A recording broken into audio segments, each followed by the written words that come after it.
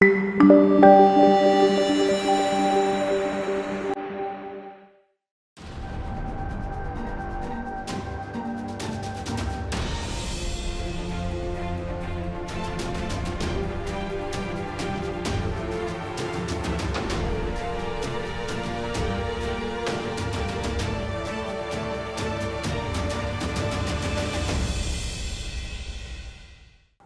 chào quý vị khán giả. Bảo Trân rất hân hạnh được đồng hành và gửi tới quý vị những thông tin cập nhật trên kênh YouTube của báo Pháp luật Thành phố Hồ Chí Minh. Ngay sau đây là những nội dung chi tiết.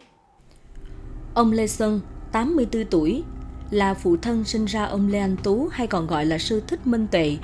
Hiện đang sống cùng vợ trong căn nhà hai tầng khang trang ở một xã của huyện Iagrai, tỉnh Gia Lai. Dù lớn tuổi nhưng ông Sơn vẫn rất khỏe mạnh và minh mẫn.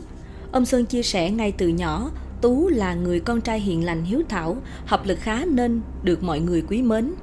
Học xong phổ thông, theo nghiệp bố, anh Tú đi bộ đội chừng 3 năm, sau đó theo học trường trung cấp lâm nghiệp Tây Nguyên Gia Lai. Ra trường, anh Tú làm đo đạc cho một công ty tư nhân ở Đắk Lắk. Thời điểm này, anh Tú đọc những sách về Phật nên đã ăn chay tu tại gia. Gia đình hồi ấy cũng khá lo lắng vì không thấy anh có bạn gái, tâm tư cũng không muốn lập gia đình. Gần 10 năm về trước, Tú có đọc sách về Phật Pháp nên phát nguyện đi tu. Lúc ấy tôi nói đi tu rất khó khăn, nhưng đã quyết thì phải tu trọn vẹn, không được phá giới, phải chân cứng đá mềm, không tham lam sân si. Lúc đi Tú để lại cho tôi một cái đồng hồ, điện thoại, tủ lạnh, 8 mét vải màu vàng. Ông sơn bùi ngùi xúc động. Ông sơn kể cách đây hơn 30 năm, ông cùng gia đình từ huyện Kỳ Anh, tỉnh Hà Tĩnh và huyện Iagrai lập nghiệp. Ông Xuân cùng vợ có ba người con trai và một người con gái, trong đó Lê Anh Tú là người con thứ hai, hiện đã 43 tuổi. Theo tiết lộ của người cha, mẹ anh Tú đã đẻ rơi anh trên đường đi làm ruộng về nhà. Ngay từ những ngày còn bé, sư thích Minh Tuệ có lòng từ bi với mọi người, không bao giờ muốn làm ai buồn lòng. Ai em nó cũng xem là cha mẹ phải học hỏi. Tôi đi cả chục năm nay chưa về rồi, nhưng thời gian này mọi người mới để ý nhiều, ông sơn cho biết. Bản thân Sư Thích Minh Tuệ cho biết ông quê gốc ở xã Kỳ Tân, huyện Kỳ Anh, Hà Tĩnh. Năm 1994, gia đình chuyển vào tỉnh Gia Lai sinh sống. Trước đây ông từng có thời gian ngắn tu tập tại một ngôi chùa, được đặt pháp danh là Thích Minh Tuệ. Minh có nghĩa là sáng, tuệ có nghĩa là trí tuệ, ý nghĩa cái tên là con đường soi sáng. Sau này khi cảm thấy không còn duyên ở chùa, con ra ngoài vẫn giữ pháp danh này, ông Tú giải thích. Ông cho hay, mình không phải là tu sĩ Phật giáo, không tu tập và không là nhân sự của bất cứ ngôi chùa cơ sở tự viện nào của Giáo hội Phật giáo Việt Nam. Những năm qua, ông chỉ nghe lời giảng của Đức Phật Thích Ca Mâu Ni, tập học tu hành đầu đà. Ông Thích Minh Tuệ chia sẻ, trước đây từng nghi ngờ những lời dạy của Đức Phật, này chính chắn hơn nên muốn học tập, làm theo những lời dạy đó để xem có được hạnh phúc an lạc không. Khi quyết định bỏ nhà, bỏ việc để đi bộ hành, bản thân ông đã suy nghĩ rất kỹ sau đó mới xin phép bố mẹ lên đường. Vì quyết tâm theo khổ hạnh đầu đà, nên quá trình đi bộ, ông Thích Minh Tuệ đã tự nhặt các tấm vải vứt ở bên đường hoặc trong thùng rác rồi may lại làm quần áo mặc. Ai đó cố tình vứt cho ông sẽ không nhận. Mỗi ngày ông chỉ ăn một bữa. Khi đi trên đường, nếu gặp người có tâm, có duyên gửi cơm chay hoặc nước thì ông chỉ dùng vừa đủ. Qua các con sông suối, ông chỉ dừng lại tắm rửa. Buổi tối, ông thường nghỉ ngơi bên đường hoặc nghĩa địa.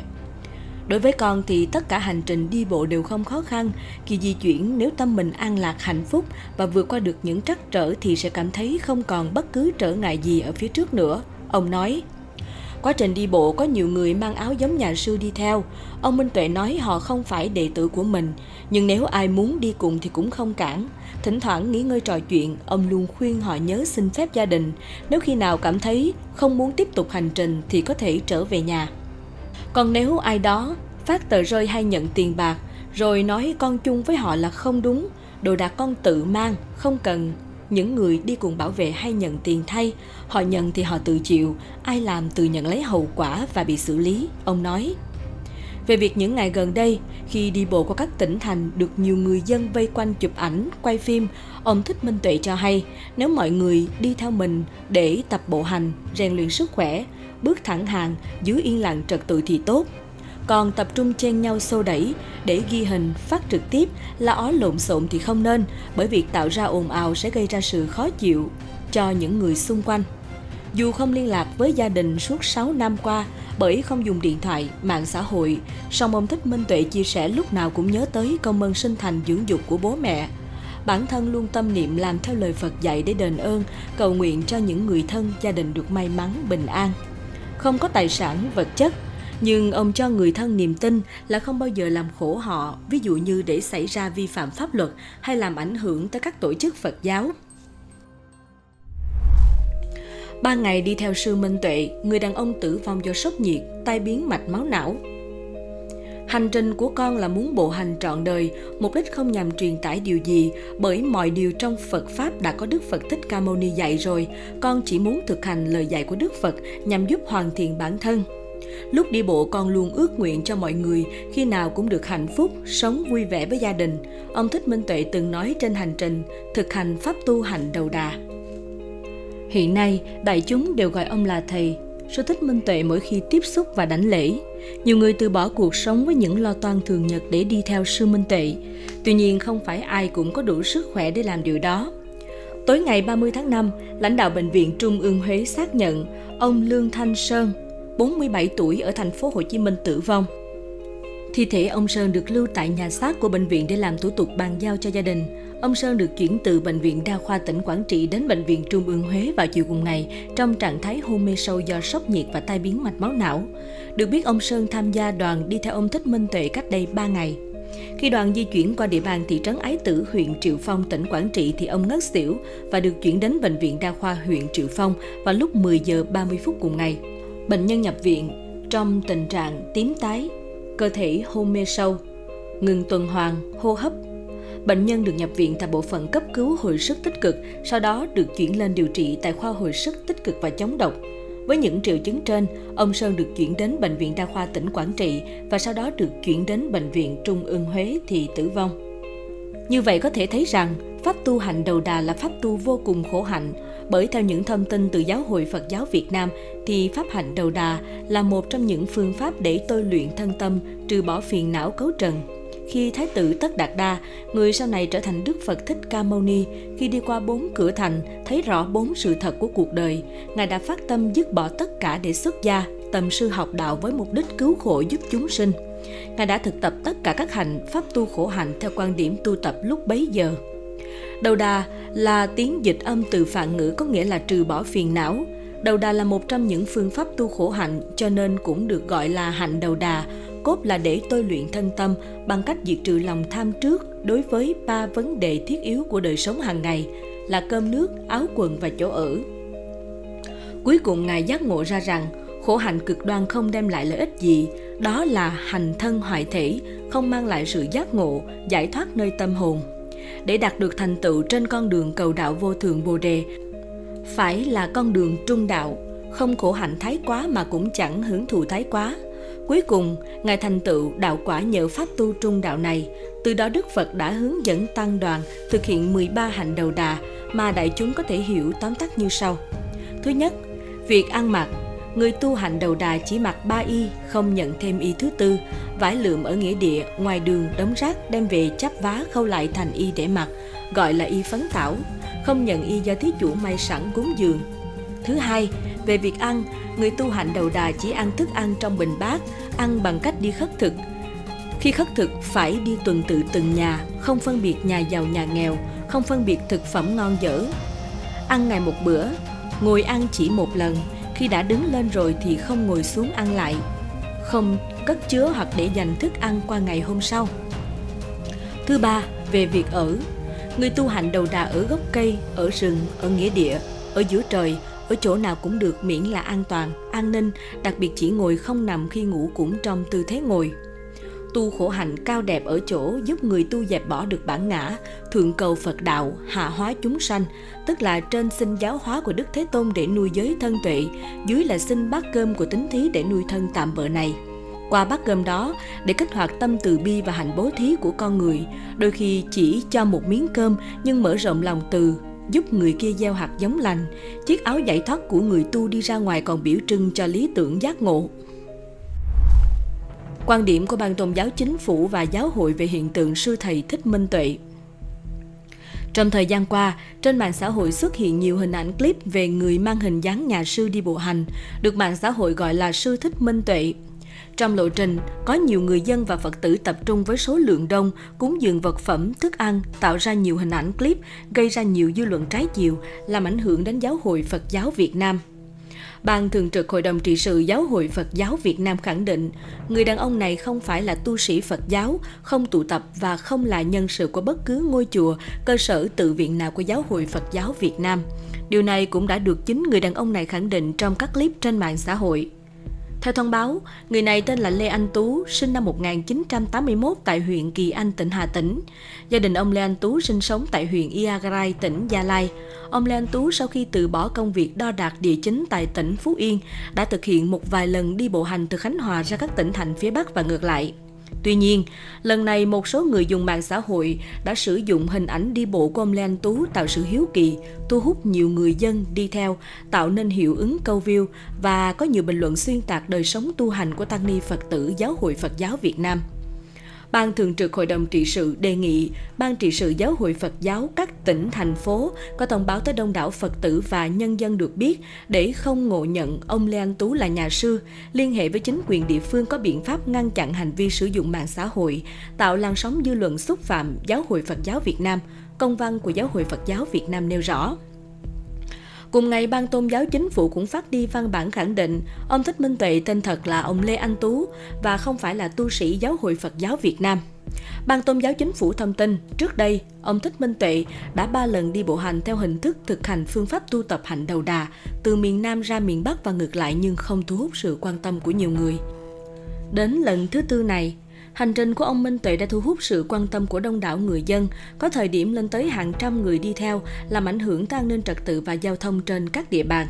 Trong đoàn đi theo có tín đồ Phật tử, có những người hiếu kỳ và nhóm TikToker, YouTuber quay clip, livestream, đăng tải trên các trang mạng xã hội, tạo nên hiện tượng thích minh tuệ thu hút sự quan tâm của dư luận và có nhiều bình luận theo các chiều hướng khác nhau. Từ thực tế đó, Ban Tôn giáo Chính phủ đề nghị Ban phòng tôn giáo tham mưu Sở Nội vụ, báo cáo Ủy ban Nhân dân tỉnh, thành phố chỉ đạo các sở ngành chức năng quan tâm khi ông Minh Tuệ tới địa bàn, không để xảy ra tình trạng tập trung đông người gây cản trở và ảnh hưởng an toàn giao thông, gây phức tạp về an ninh trật tự, đặc biệt không để các thế lực xấu lợi dụng, xúi dục, lôi kéo gây mất đoàn kết tôn giáo và vi phạm pháp luật đồng thời trao đổi với Giáo hội Phật giáo Việt Nam ở địa phương, hướng dẫn tăng ni Phật tử tu học theo đúng chính pháp của Đức Phật, tôn trọng quyền tự do tín ngưỡng tôn giáo và cách thức hành trì của mọi người, nhưng cần đảm bảo thực hiện theo đúng quy định pháp luật. Ngoài ra thông tin tuyên truyền để quần chúng nhân dân tăng ni Phật tử và nhân dân hiểu về chính sách tôn trọng tự do tín ngưỡng tôn giáo, về cách thức hành trì của Phật giáo, không cản trở, làm ảnh hưởng việc tu học đúng chính pháp, vận động chức sắc tín đồ và quần chúng nhân dân không tập trung đông người nơi công cộng gây cản trở ách tắc giao thông và an ninh trật tự trên địa bàn, chủ động cung cấp thông tin, định hướng dư luận, không để các đối tượng thiếu thiện chí có cơ hội lợi dụng tuyên truyền kích động gây mất ổn định xã hội. Được biết, trước khi Ban Tôn giáo Chính phủ và Giáo hội có những thông báo trên mạng, tràn ngập nhiều thông tin so sánh sư Minh Tuệ với các clip nhiều người trong trang phục tu hành có các phát ngôn đe dọa quả báo, cổ suý cúng dường với những thông tin nhảm nhí. Các văn bản này nhấn mạnh tầm quan trọng của việc tuân thủ chính pháp, tôn trọng sự tự do tín ngưỡng và tôn giáo, đồng thời cảnh báo về những hành vi lợi dụng sự nổi tiếng của cá nhân để phá hoại giá trị truyền thống. Vì sao đến lần bộ hành thứ tư, ông Thích Minh Tuệ bỗng dưng trở thành hiện tượng mạng? Ông Thích Minh Tuệ bỗng dưng trở thành hiện tượng trên mạng xã hội với hình ảnh và video lan truyền rộng rãi. Trước khi nổi lên như hiện nay, ông đã dành gần 6 năm lặng lẽ tu theo hành đầu đà. Với đôi chân trần, y phục chấp nối từ vải vụn và lõi nồi cơm điện thay cho bình bát khất thực, Thích Minh Tuệ sống cuộc đời không nhà cửa, chỉ nhận phần thức ăn duy nhất trong ngày. Ông tập trung vào việc tìm kiếm sự chứng đạo theo con đường của Đức Phật – hàng ngàn người đã tự phát đi theo. Thích Minh Tuệ bày tỏ tôn sùng, học đạo hay đơn giản là tò mò, nghi ngờ. Một số khác lại lợi dụng hình ảnh của ông để tạo nội dung câu view, câu like trên mạng.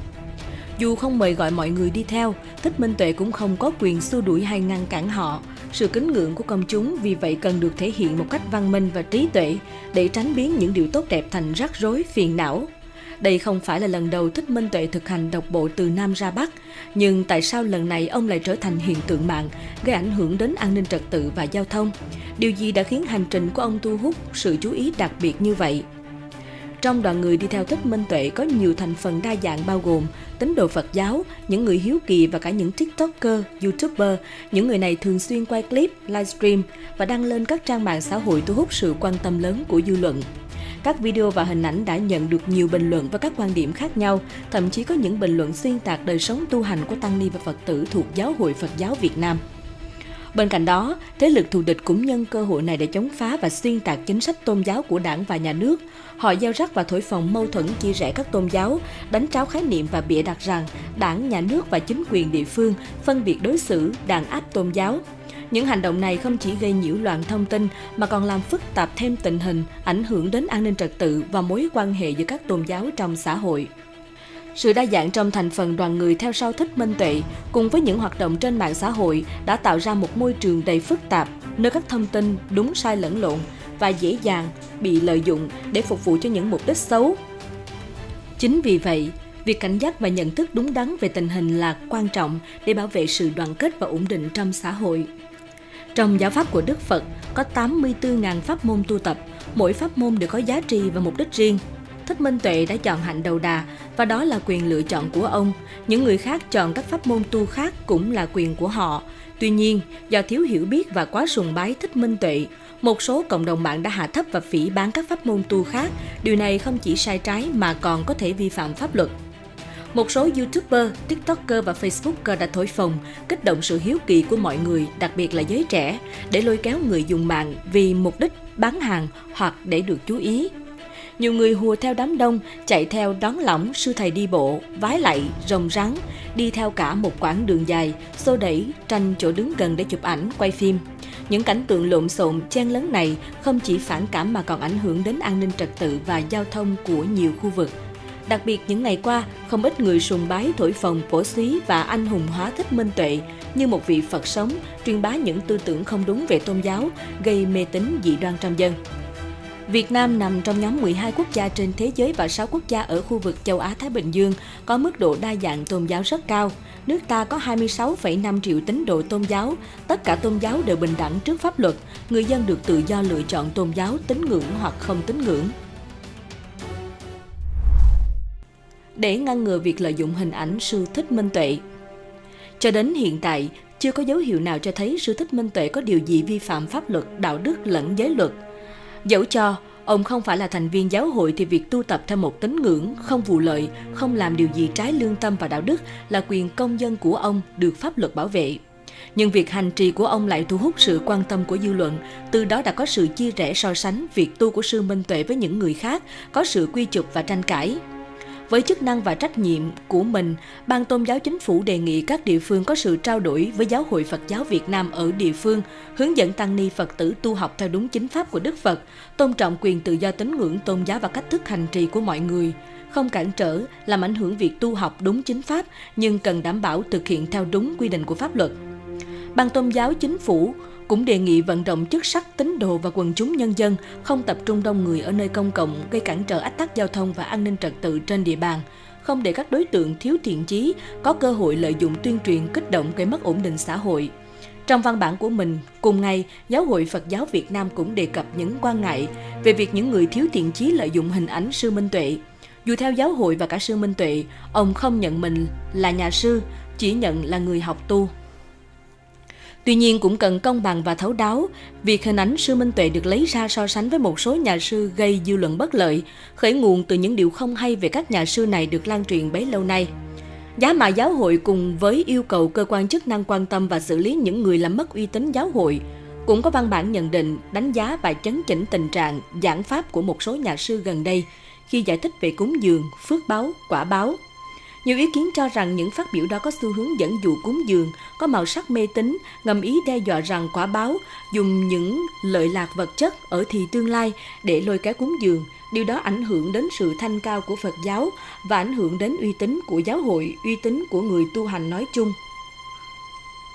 Có thể nêu ra hàng loạt ví dụ rằng, liên tục trong một thời gian, rất nhiều năm nay có những người trong giáo hội đã giảng pháp – có dấu hiệu lan truyền sự mê tín và có dấu hiệu làm người nghe sợ hãi quả báo nhằm mục đích tăng thu cúng dường hoặc dụ dân chúng bằng những quyền lợi vật chất giáo hội cũng đã chấn chỉnh những việc mê tín và tư tưởng thực dụng ấy, nhưng hình như chưa đủ mạnh mẽ